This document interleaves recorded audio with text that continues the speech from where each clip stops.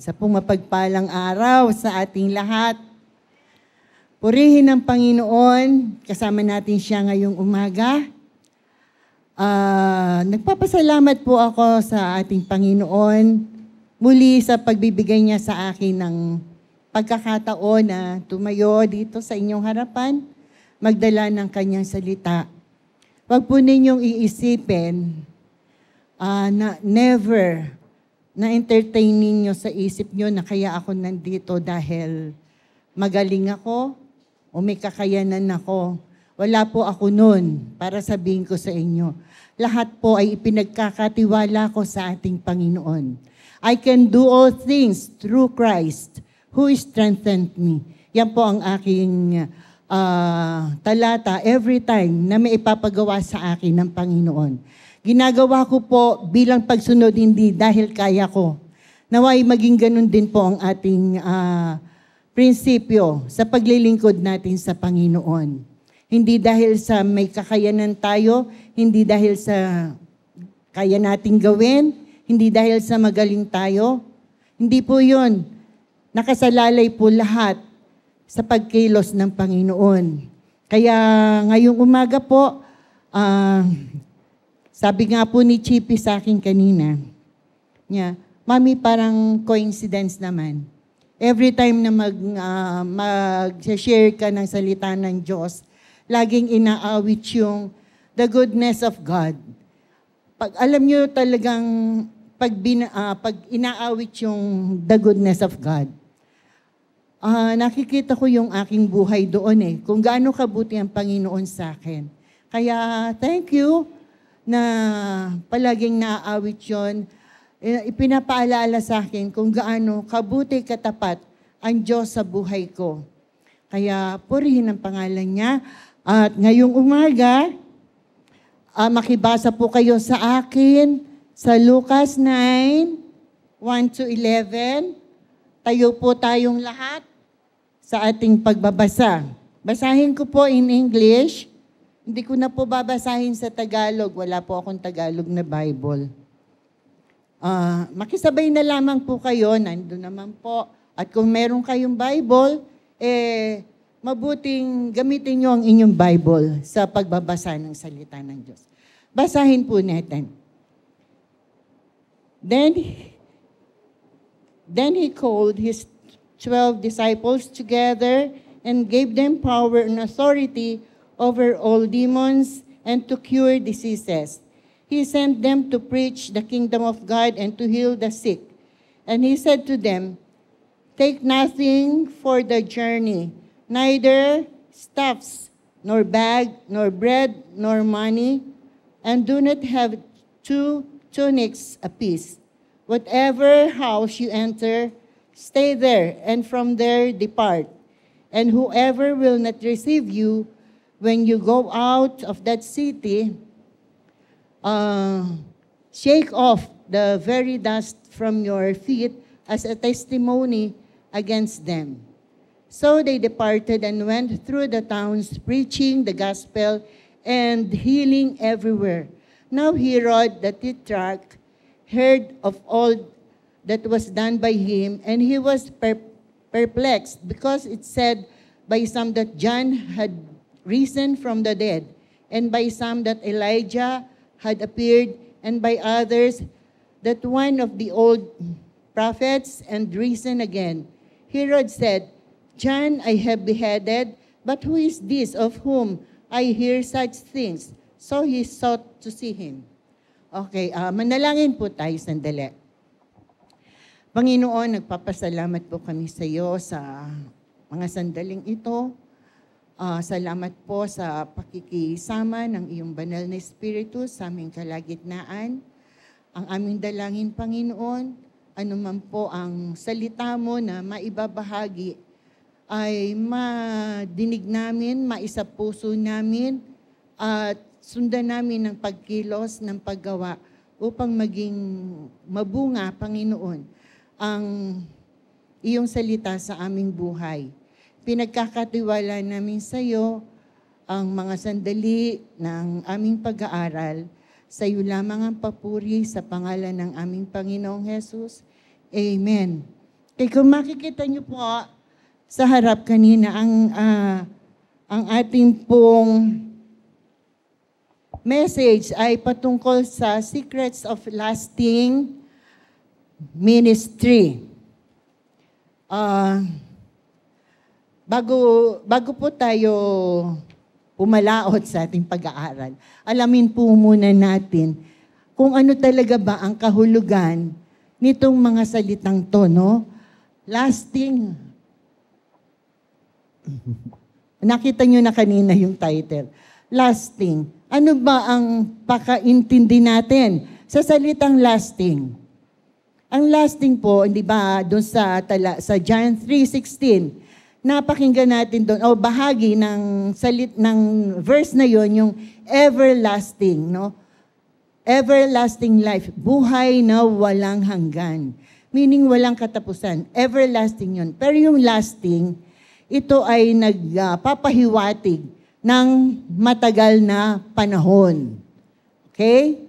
So, sa simula pa lang, unawain natin na meron tayong matagal na panahon na binabanggit.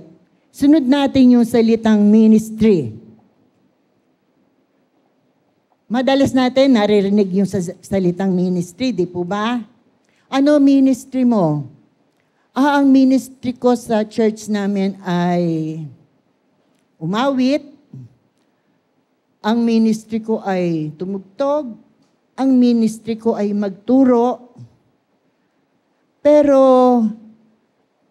hindi lamang po iyon ang ministry na i-consider natin. Marami pong ministries sa church and ang bawat mm, servant, no, kayo po ba ay tinatanggap nyo sa inyong sarili na kayo ay mga servants of Christ? If we are servants of Christ, then we are uh, we, we are Christian ministers. So, uh, minsan nagka, nagkakaroon, sorry, nagkakaroon ng comparison ang mga members sa church ng kanilang ministry, no? Kasi sasabihin nila, ah, parang wala akong ministry eh. Kasi wala naman akong ginagawa sa church. Kaya wala akong ministry. Hindi po po pwede na wala kayong ministry. Lahat po tayo ay may ministry. Sabihin na natin mula doon sa pinakamalakas ng loob hanggang doon sa pinakamahiyain. Meron siyang ministry kasi ang definition ng ministry ay about giving ourselves, no? Our time, our talent, and even our resources to bless and help others. So, kung ano man ang ginagawa ninyo, na ginagawa ninyo ng buong puso, kayo ay nagmi-minister o gumagawa kayo ng ministry para sa Panginoon. Tandaan natin, ang ministry ditong binabanggit ay yung Christian ministry ha, hindi hindi sa labas ng Christianity. Christian ministry. Now, gaya ng sabi ko kanina, lahat tayo ay may ministry. Hindi nga lamang pare-pareho, no?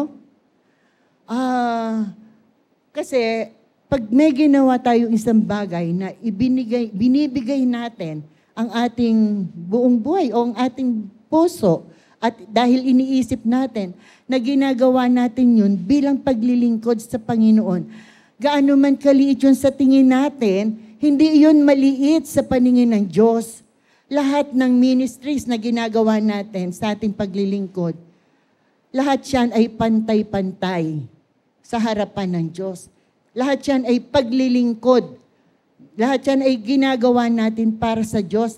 Meron tayong panahon, meron tayong talent, meron tayong resources na ibinibigay. Ginagawa ba natin ang ministry para sa ating sarili? Hindi, hindi po ba? Bakit magmi-ministry tayo? Bakit magmi-ministry tayo sa ating sarili? What for? No? Ginagawa natin ito unang-una para sa ating Panginoon, pangalawa para sa ating kapwa, lalo na sa ating mga kapatid. So, ano ba yung sinasabi nating malaking ministry o maliit na ministry? Siyempre, tayo, nile-level natin to sa halimbawa, kung ikaw ay ginagamit no, sa pangangaral, kung ikaw ay ginagamit sa pagtuturo, kung ikaw ay ginagamit sa pangunguna, sa pag-aawitan, ang tingin natin dito, malaking ministry to.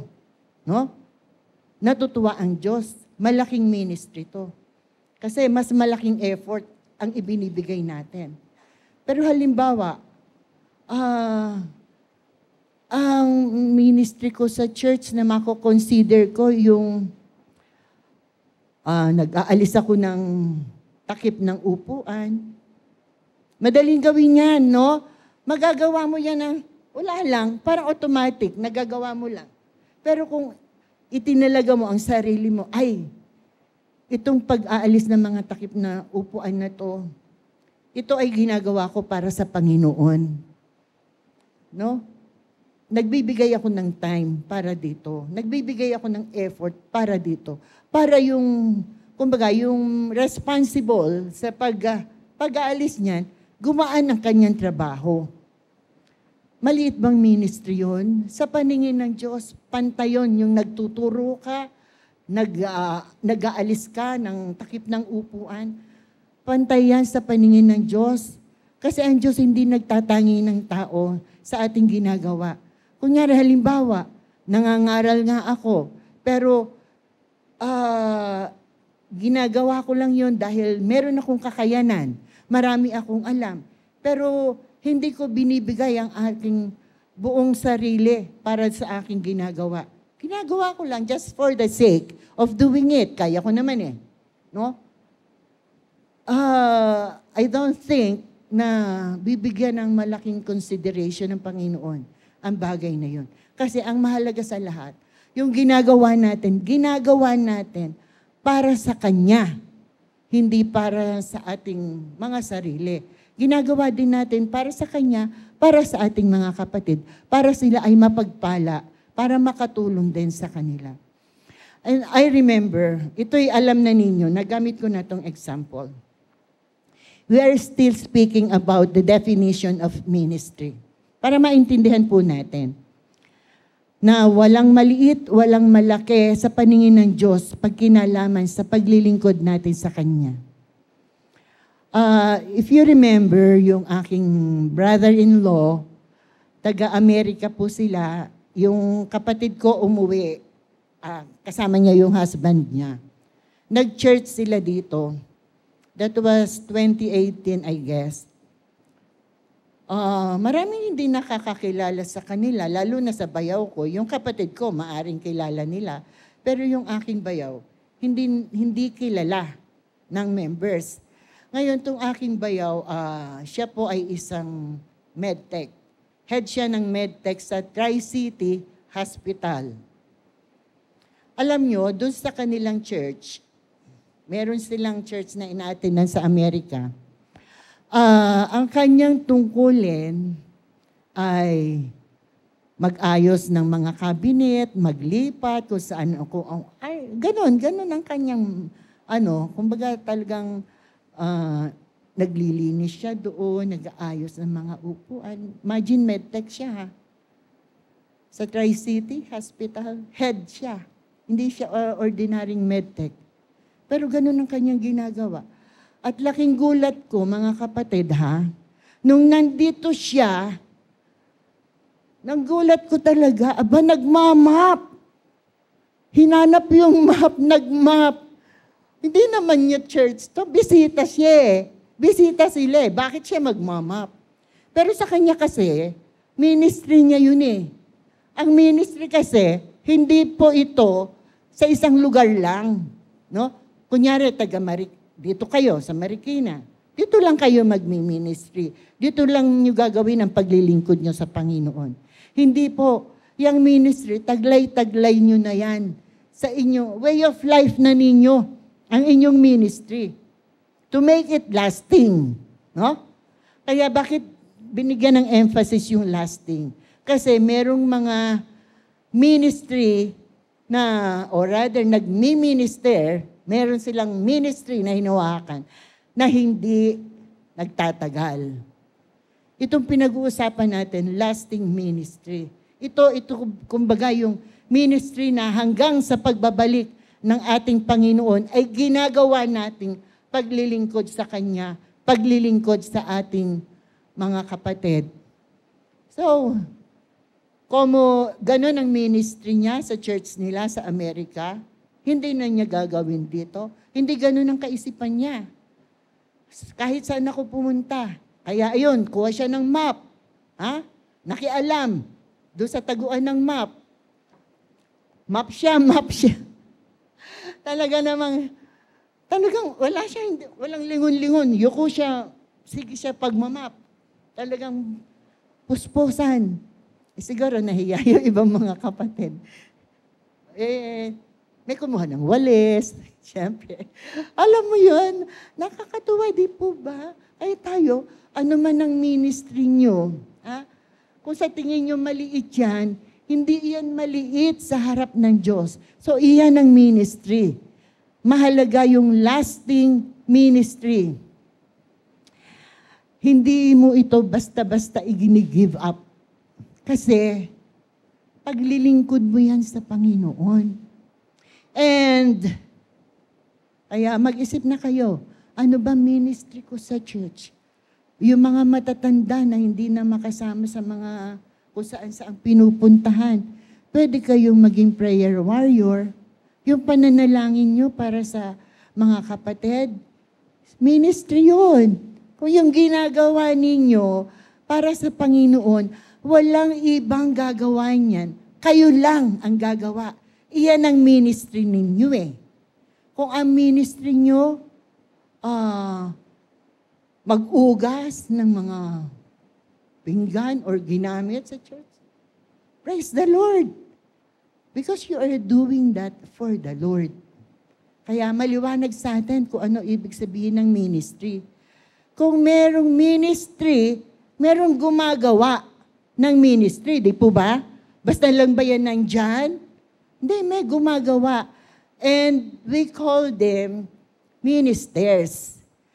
Yung mga, yung sa yung mga manalon, di ba? Tawag nila sa kanilang uh, pastor, ministro, no? Ba't tayo, ang tawag natin ay pastor. So, synonym sila, pareho sila. Yung ministro, pastor, even clergy, pare-pareho yan. No? Synonym sila. Uh, so, I guess maliwanag na sa atin kung ano ibig sabihin ng lasting, ano yung importance niya, ano ibig sabihin ng ministry, ano yung importance niya, at yung minister yung gumagawa ng ministry.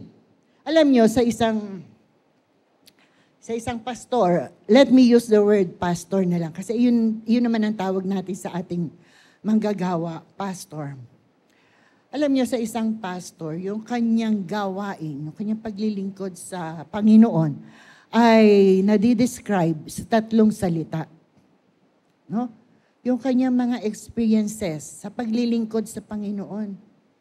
Una, yung kanyang pag, paglilingkod ay exhilarating. Ano ba ibig sabihin ng exhilarating? Ang ibig sabihin ng exhilarating, making one feel very happy. So pagka-exhilarated kayo, iyon ay nagpapahayag na kayo ay masaya. No? So sa madaling salita, ang gawain ng isang pastor ay kasiya-siya. No? Nakakapagbigay ng kasiyahan sa kanya. Nagiging masaya siya. And second, hindi lamang siya nagiging masaya, meron nakakadama din siya ng fulfillment. Nasa-satisfy siya. Siyempre, hindi ka ba masasatisfy sa ginagawa mo na nagbibigay ng kasayahan sa iyo, ng kagalakan sa iyo? Ah, yung two words na yon, exhilarating, fulfilling. Pero may isa pa. Ito yung word na agonizing. So, from the word agony, uh, masaya ba yung salitang agony? Di ba pag sinabing agony, pag sinabing the agony of Christ, ang lumalarawan sa ating isip ay yung paghihirap na kanyang dinanas. So, ang isang pastor, bukod sa uh, kanyang ex- exhilarating and fulfilling experiences, meron ding agonizing, mentally and physically. Napapagod din po. May dumadating ang time na kahit natutuwa siya, kahit nasasatisfy siya sa kanyang ginagawa, may mga panahon din na napapagod siya physically and mentally. Uh, alam nyo kasi, yung mga pastor sa probinsya, lalo na, hindi gaya dito sa atin, tayo puro sakay ang alam natin, di ba? Kahit malapit lang, sakay lang tayo. Ewan ko lang ha, hindi ko alam, pero maaring meron na mula doon sa sa kanilang tinitirhan, papunta dito, nilalakad lang nila eh, ewan, ay si pastor ata na one time, nilakad niya to, pero hindi naman para mag-preach. Tutulong siya dito sa church para maglinis. Kakapagod. Lalo na sa probinsya, alam niyo yon bayan-bayan ang pinupuntahan. Hindi sila sumasakay, naglalakad lang sila. Minsan ilang ilog ang kanilang uh, tinatawid para makarating doon sa kanilang pupuntahan. Ilang pilapil ang kanilang tinutulay. Ganun po sa probinsya. Pero ginagawa nila kakapagod physically. Pero men, meron din na ano, uh, pagkapagod sa pag-iisip. Ma- marami ang involved dyan, no? Pag affected ang ating isip. We are mentally affected. They are mentally affected. But then, sa kabila ng lahat, in general, ang ating mga pastor, ating mga manggagawa, alam nila na ang Diyos ang nagpadala sa kanila, nag-send sa kanila para gawin ng isang bagay, para gawin ng isang paglilingkod.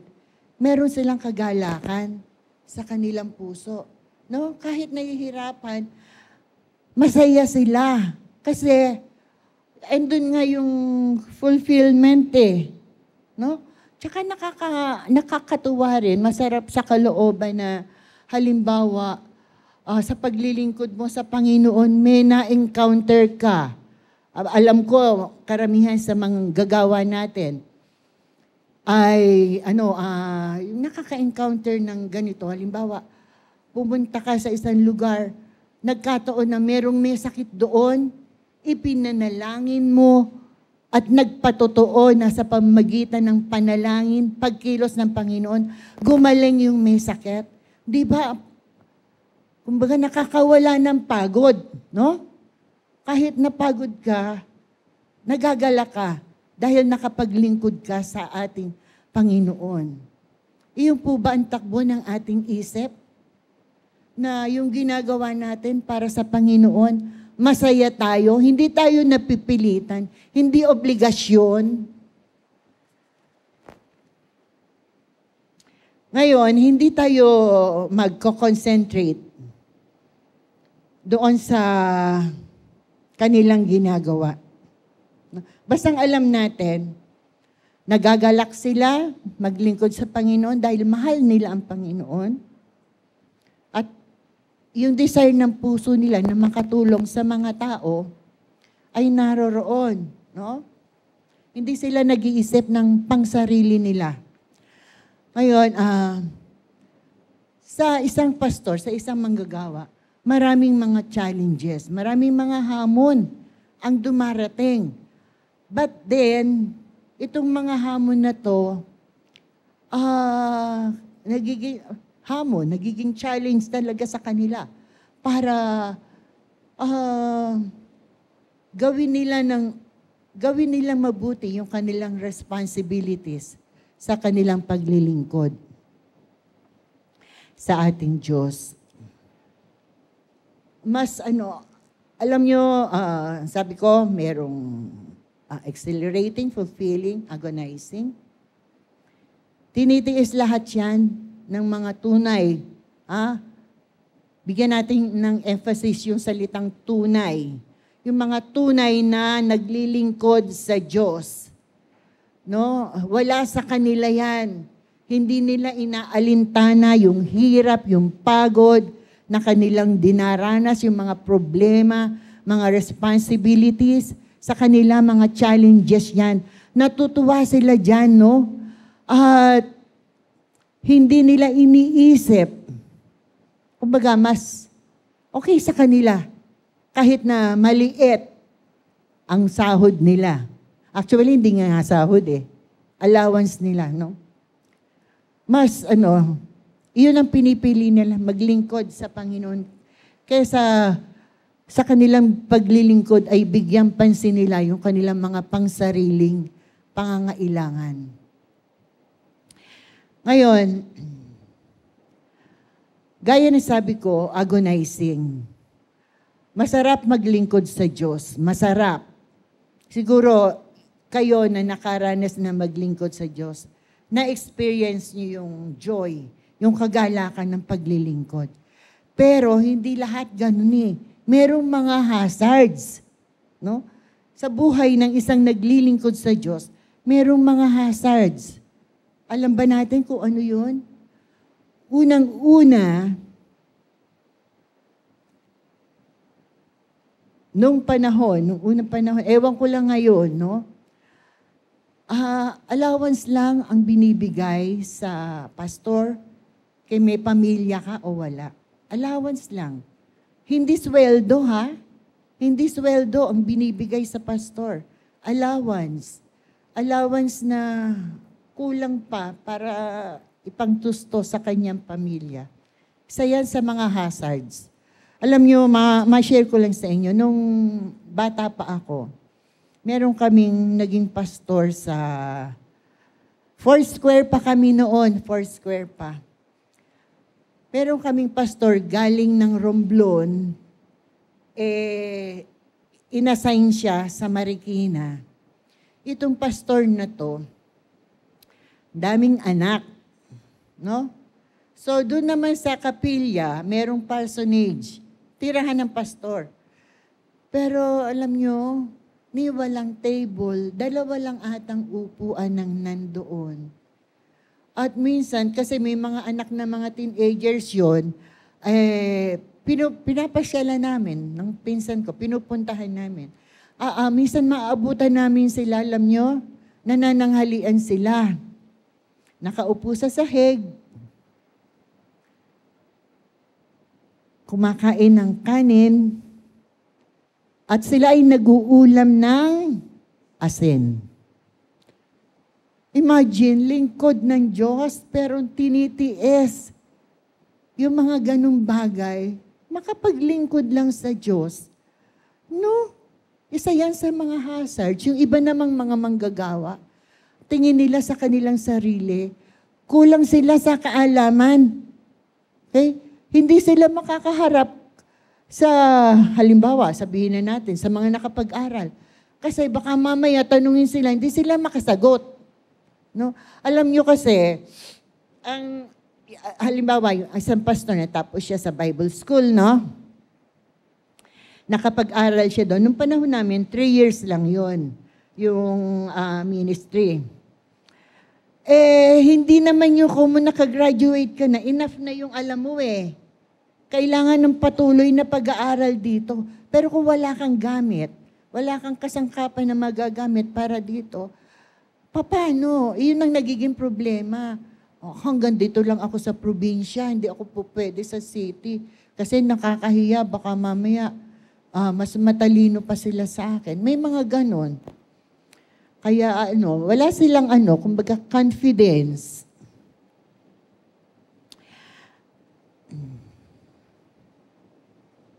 Uh, minsan din, yung mga halimbawa, taga rito naman sa city, no?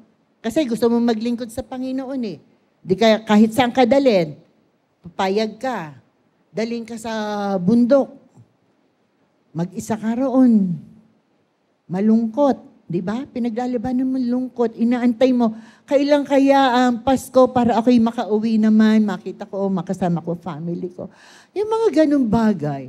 Kasi minsan tingin natin sa pastor, oy, pastor yan, ganyan niya, maganda buhay niyan, naglilingkod sa Panginoon yan. Walang problema yan. Pero meron po, may mga pinagdadaanan silang problema. Alam niyo si pastor, Pastor Papa, kasi bago siya nag-aral sa Bible School, ano siya, uh, natapos po siya ng ABS Accounting sa UE. So, uh, habang nagpapastor siya, nagtatrabaho siya kasi may family na siya, may mga pinapakain na siya.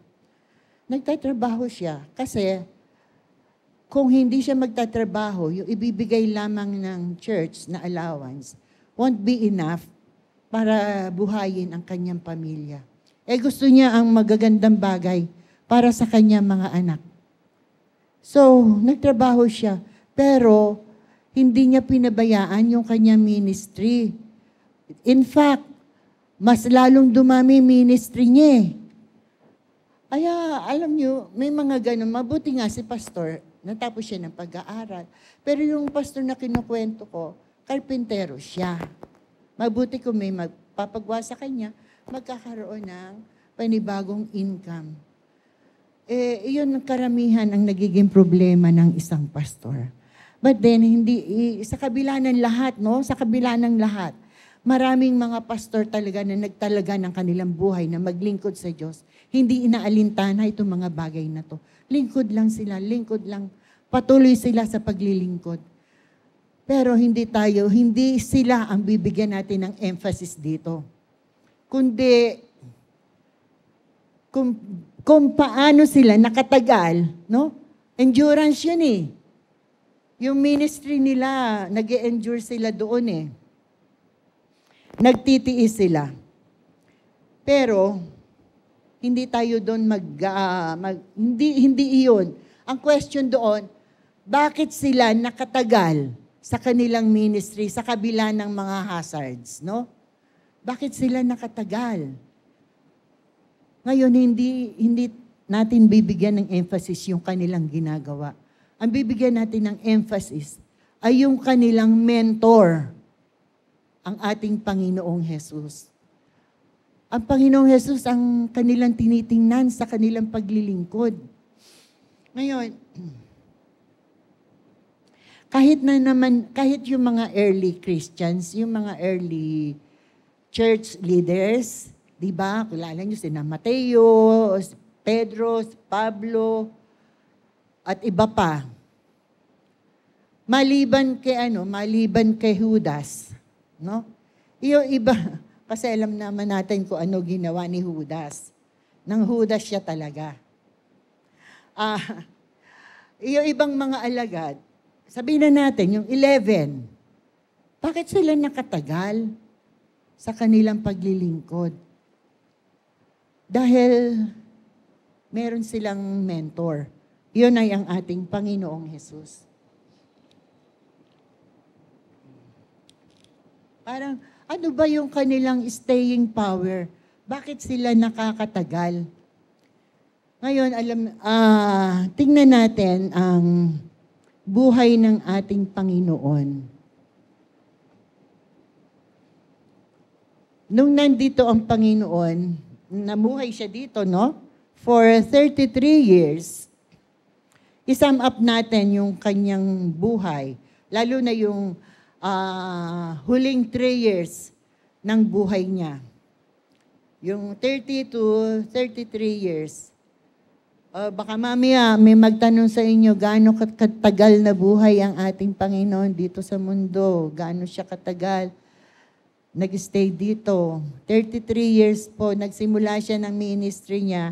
Nung 30 years old na siya, tapos yung remaining three years ay puro paglilingkod na ang kanyang ginawa. So, to sum up, yung buhay ng ating Panginoon, Una, siyempre, He came. Dumating siya. Yeah. He came. Alam natin kung paano dumating ang Panginoon dito, di ba?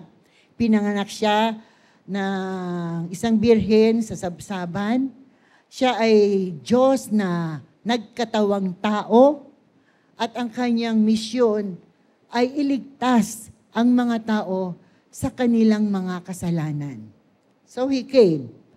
And next, nung pumunta siya, he chose. Pumili siya ng labindalawang alagad na makakasama niya sa kanyang ministry. No? Makakatuwang niya, uh, makakatulong niya sa kanyang pagmiministeryo alam, kilala na ninyo kung sino yung 12 na yon ano? Kasama do si Judas Iscariote. Uh, doon sa pagpili ng Panginoong sa kanila, kasakasama siya saan siya pumunta, kasama niya itong kanyang mga alagad, nagpapagaling, nangangaral, witness sila sa lahat ng ginagawang ito, ginawang ito ng ating Panginoon. And then, the next one, pagkatapos niyang pumili, dumating yung time na kailangan niyang mamatay. Kailangan niyang mamatay para sa katuparan ng kanyang misyon. Yung kanyang dugo ay nabuhos doon sa krus ng Kalbaryo para sa ating mga kasalanan upang iligtas tayo. So, But then, hindi naman siya nanatiling patay. We all know that. Alam natin yan lahat, di ba? And the last, he rose again and he departed. Umalis siya.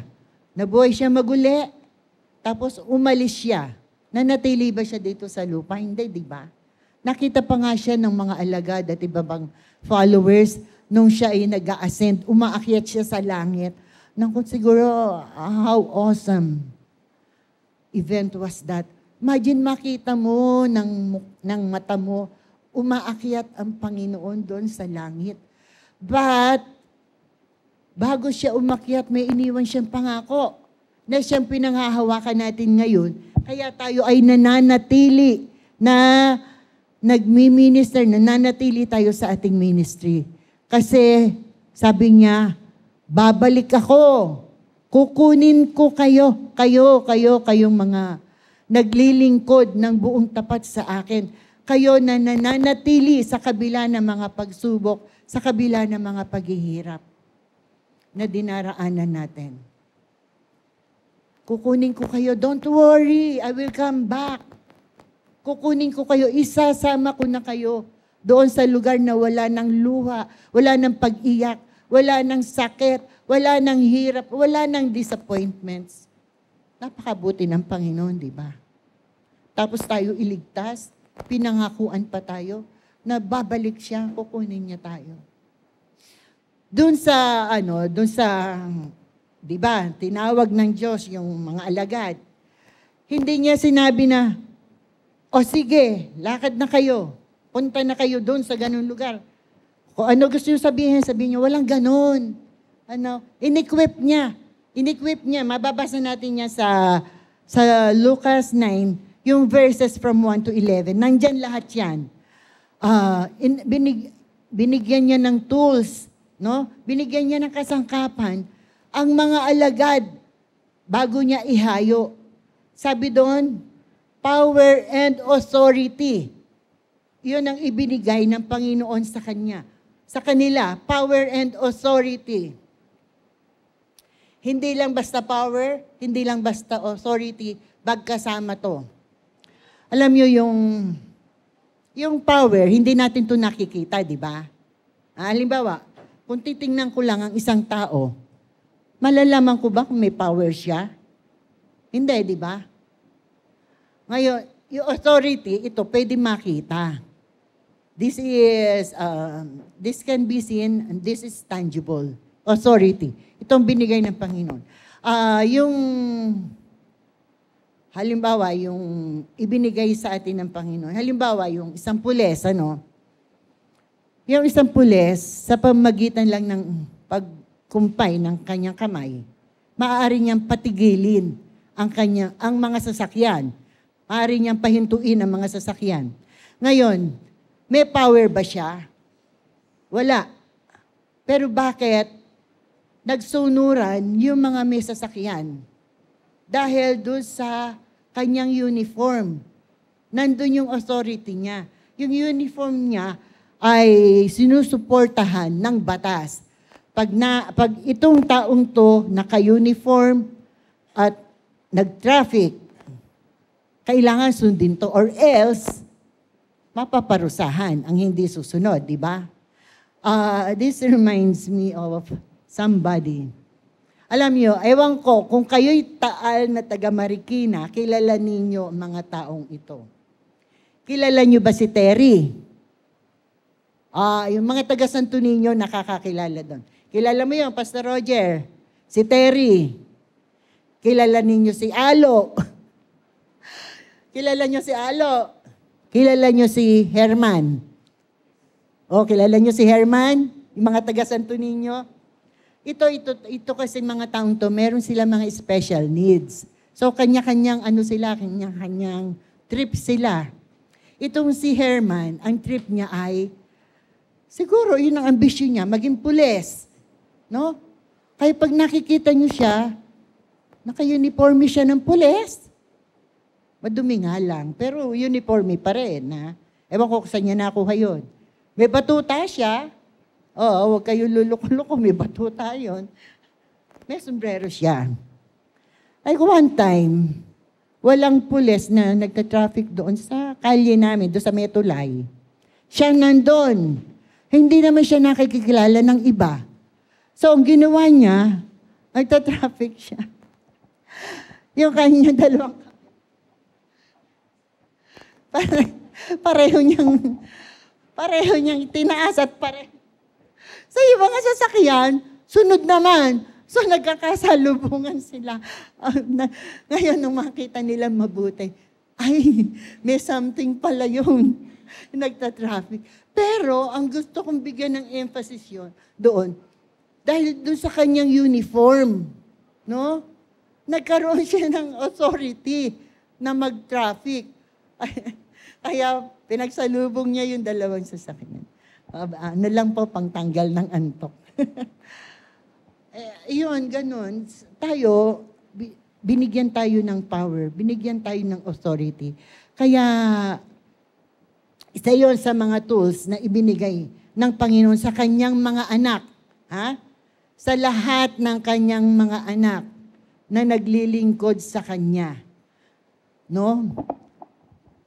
Imagine, wala tayong power. Pero binigyan tayo ng power through the Holy Spirit. No, binigyan tayo ng authority para ipangaral ang salita ng Diyos. Kanino ba yung galing yung authority na yon? Sa ating Panginoon, di ba? Parang, o oh, sige, binibigyan kita ng authority na ipangaral mo ang mga salitang ito na aking itinuturo. Susunod ka. Kasi binigyan ka ng authority. Ngayon, para maging effective, yung itinuturo mo, nandun yung kapangyarihan ng Diyos, yung Holy Spirit. Kaya minsan, di ba, pagka merong nangangaral, ano ba yung pang- pinapangaral ng tao? Sarili ba niya yon? Ay, yung bang, halimbawa ako, yung sinasabi ko dito, sarili ko lang ba to? Katang isip ko to? Hindi. Salita ng Diyos.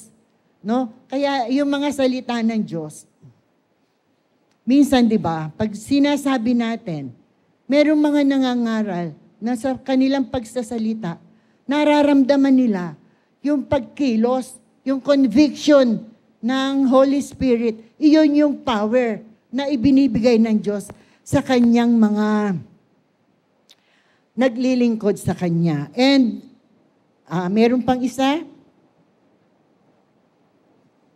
power and authority. Ang uh, susunod ay yung proclaiming and performing. Mahalaga na sa pagsasalita natin, nandun din yung performance. No? Paggawa nung mga bagay na sinasabi natin, binabahagi natin. proclaiming and performing. So I guess this this is clear na no yung proclaiming and performing. Ibig sabihin niyan, yung ipinapangaral nyo, kailangan ay ginagawa din ninyo. Hindi tayo puro usap lang, puro usap. Alam nyo, maraming tao mahusay magsalita eh. Ang mga pariseyo, saduseyo, mahuhusay sila magsalita. No? Mga matataas ang pinag-aralan yan eh. Compared sa mga alagad, mga, mga ano sila, mga fishermen sila, di ba? Pero, ano itong mga pariseyo na to na mahusay magsalita? Iba yung kanilang sinasabi sa kanilang ginagawa. Kaya nga tinawag sila ng Panginoon ng mga ipokrito eh. Ah, mga mapag-imbabaw. Pangaral kayo ng pangaral, hindi naman makita sa buhay nyo. Huwag naman sana tayong ganoon. Hindi po pwede yung tuturuan natin ng ating anak Anak, ganito ang gawin mo. Pero yung ginagawa ko, wag mong gagayahin, ha? Alimbawa, sabihin natin, anak, masamang magmura. Pero naririnig ka naman, mura ka ng mura. Hindi ganun. Para kang pariseyo nun. so, yun ang importante. Kung hindi nyo kayang gawin yung sinasabi nyo, you better shut up para walang mai-blame sa inyo. No, para hindi masabing, ang galing mong magsalita, hindi naman makita sa gawa mo. Manahimik ka na lang. Hindi ka pa nakagawa ng pagkakamali. Pero, hindi tayo dapat mapigilan na magsalita, na mangaral ng salita ng Diyos. Kasi gusto nating maturuan ang mga tao kung paano tinuruan ng Diyos ang kanyang mga alagad yung mga alagad, turuan din ang ibang mga tao. Sino ang source nung itinuturo ng mga alagad? Ang Panginoong Jesus, di po ba? Ngayon, there was a time na si Herodes, tinanong, kasi ano eh, kumbaga parang kil, alam na ano na, sikat na sikat na ang Panginoong Jesus. Pero, merong hindi pa nakakakilala sa kanya talaga. Ah, uh, si John the Baptist kaya yan? Or si Elijah kaya yan? Eh si Herod, hindi rin niya kilala ang Panginoong Yesus. Kaya pinagtatanong niya, sino ba yung Jesus na yan? Si John, kilala ko yan. Pinapugutan ko ng ulo yan eh. Si Elijah, ay, ano yan eh, sa lumang tipan yan. Propeta sa lumang tipan. Pero sino tong Jesus na to? Gusto ko tong makilala. Pero alam ba ninyo, walang pakialam ang Panginoon eh. Walang paki, pakialam ang Panginoon sa kanila. Dito sa mga nagtatanong, nagtatanong kung sino siya. Ang may pakialam siya doon sa kanyang ginagawa. Yun ang importante sa kanya. Kaya tayo din, mga mananampalataya, uh, minsan marami tayong naririnig na puna sa ating ginagawa. We are doing our best in serving the Lord. And yet, meron pa rin mga criticisms na nasasabi. Uh, ang Panginoon ganun din, di ba? Ano ba ginawa ng Panginoon? Nangaral siya ng mga tunay na salita ng Diyos sa ikaliligtas ng kaluluwa ng mga taong masama. Nagpagaling siya ng mga may sakit. No? Nagpakain siya. Kung ano-ano pa mga himala ang kanyang ginawa. And yet, marami pa rin po na sa kanya, marami pa rin mga accusations ginawa sa kanya. May pakialam ba ang Panginoon do sa mga yon? Hindi niya binig, binigyang pansin yun eh. Ang mahalaga sa kanya, yung kanyang ginagawa. Maging ganun din tayo. Hindi may iwasan yan, may pupuna at may pupuna. Sa kabila ng ating pagsisikap na gumawa ng mabuti para sa Panginoon, may mamumuna at may mamumuna. For some reasons, meron talagang mamumuna. And this reminds me, eh, ako ang share ko lang sa inyo. Hindi hearsay ito. Eyewitness ako nito. Nakita ko to sa buhay ni Pastor. Pastor Papa, nakikita ko kung gaano yung desire niya na maglingkod sa Panginoon. No? Iyon lang talaga ang kanyang goal. Maglingkod lang sa Panginoon hanggang sa kanyang kamatayan. Iyon ang kanyang binibigka sa kanyang bibig. Maglingkod lang tayo sa Panginoon. And yet, maraming sumaksak sa kanya sa likod. And we all know that. Pinansin ba niya yon? Na ano ba, na napigilan ba, na diskarel ba yung kanyang ginagawa para sa Panginoon? Para sa kanya, wala akong pakialam sa mga sinasabi niyo. Kilala ako ng Diyos ko at gagawin ko kung anong pinapagawa ng Diyos sa akin. Kaya yun naman ang ginawa niya. No? Kahit nasaktan siya, nasasaktan siya, bakit hindi? Hindi naman siya manhead. No? Pero hindi yun nagpatigil sa kanya sa paglilingkod niya sa Panginoon. Yung iba kasi ang daling ma-discourage eh. May marinig lang na negative comment. Ay, ayoko na. Pinipintasan yung ginagawa ko. No. Mag-focus tayo doon sa ginagawa natin para sa ating Panginoon. Hindi doon sa sinasabi ng ibang tao. Pastor Papa was even accused of spending the money of the church na nising ko nga hindi niya ginagalaw, pero inakusahan siya. Ganyan kasi ang mga ginagamit ng kaaway.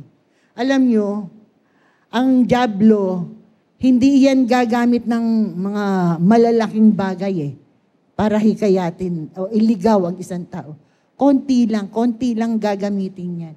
Parang doon sa Garden of Eden, di ba? May tinwist lang salita ang Diablo na, na paniwala si Eva. Ganyan din. Pero God has a way of vindicating him.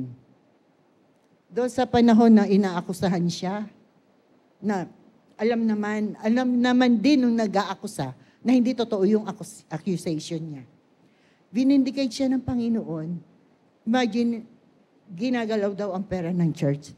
Pero yung president ng Bethel Bible College, si Pastor Javier, kinuha siyang business manager nung school. Hindi ba enough vindication yon para uh, patotohanan na hindi totoo yung accusation? So ganun tayo. Focus lang tayo sa Diyos. Lingkod lang tayo. Huwag tayong madiskarel ng mga pintas, mga puna na naririnig natin. Wala tayong pakialam doon. Ang pakialaman natin, yung ginagawa natin para sa Panginoon. At yung ginagawa natin sa, para sa Panginoon, kailangan lasting. No? Kailangan lasting. Pang matagal na panahon. Maaari nga hanggang sa dumating siya. Eh, sad to say, uh, nawala na si pastor. Pero nawala siya na ginagawa pa rin niya yung pinagagawa sa kanya ng Panginoon. And this is, this should be our lives. Lalo na ngayon, malapit nang dumating ang Panginoon. I still have two, two drafts, no? Pero hindi ko na po ito gagamitin. I guess I have said enough. Maliwanag na yung sinabi ko sa inyo patungkol sa ating ministry. Ang ministry natin, anything na ginagawa natin para sa Panginoon, gawin natin ito na paglilingkod sa Diyos. Kaya hindi po pwede, ay ayoko nang sumayaw, ay ayoko nang tumugtog, hindi ko na feel, tinatamad. No. There were times na parang tinatamad ka, but then, overcome yun. I-overcome nyo ang mahalaga, yung paglilingkod nyo sa Panginoon. At pagdating ng araw, pagdating ng panahon na humarap tayo sa Panginoon, hindi niya sasabihin, ah, ikaw, nagtuturo ka sa church. Halika, dito ka. Marami ko bibigay na corona sa iyo. Ikaw, nagwawalis ka lang sa church. Ah, ito lang ang... Hindi ganon. Ah, hindi, hindi tayo titingnan ng Panginoon doon. Yung katapatan ng ating puso na maglingkod sa Kanya. Even yung pag-upo ninyo dyan, ministry yan. Bakit kayo nakaupo dyan? Dahil ba sa mga ho, tumatayo dito? Hindi, hindi ba? Dahil sa Panginoon. Ginagawa natin para sa Panginoon. Nagpupunta tayo sa church para sa Panginoon, not for anybody. Kasi useless lahat. Pag ang isang bagay ginawa natin para sa isang tao, baliwala lahat yon. Pero kahit na maliit na bagay na ginawa natin para sa ating Diyos, malaking bagay yun. Pantay-pantay iyon sa harapan ng ating Diyos. Purihin ng Panginoon, tatapusin ko na po ang aking message and I just hope na may natutunan kayo na maaari ninyong i-apply sa inyong buhay bilang mga manggagawa ng Diyos. Kaya purihin ang Panginoon. Praise the Lord. Praise the Lord.